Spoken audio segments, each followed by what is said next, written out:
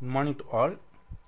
In today's class, let us see the third supplementary, the story of Mulan.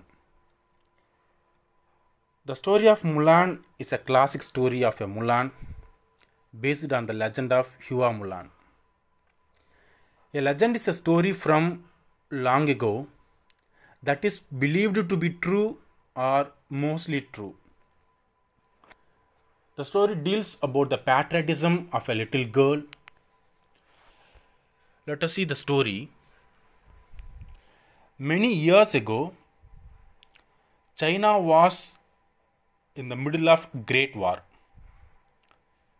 And the emperor felt that there were lack of soldiers in his army.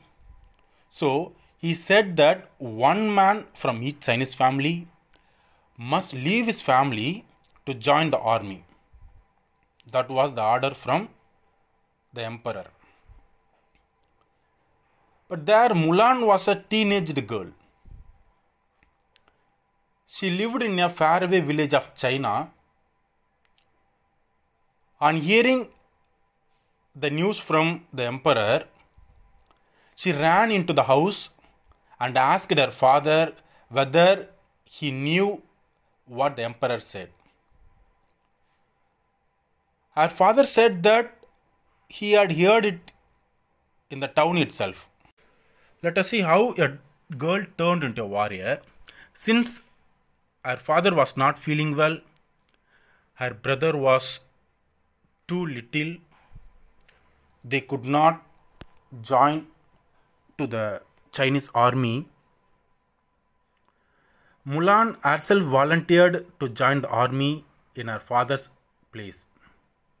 At once she ran into her room and took a knife cut off her long black hair and came out and told her father that she was his son now because she was in a disguise. She looked like a boy. So she said that she would do her part for China. But the father refused as women were not allowed in the army. That was the rule in that time. So he refused her to go. Mulan replied that since he had trained her in kung fu and showed her how to use a sword. There are two things she knew kung fu and she knew how to use a sword. She would be able to do her part for China.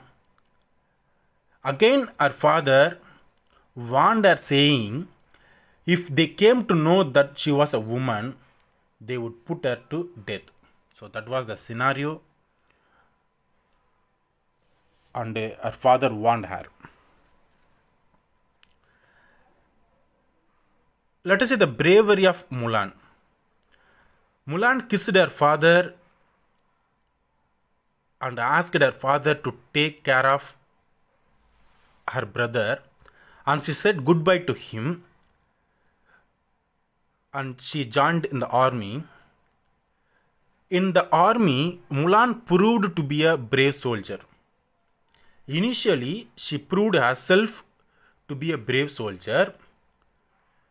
The secondly, in due course of time, she was put in charge of other soldiers. I mean, few soldiers. Her battles went so well that she was put in charge of more soldiers. That is the third one. Then, after few years, Mulan was given the top job that she would be the general of the entire army. So that's the way she had her growth in the army and she became the general of entire army. Let us see the rest of the story in the next class. I hope you understand. Thank you.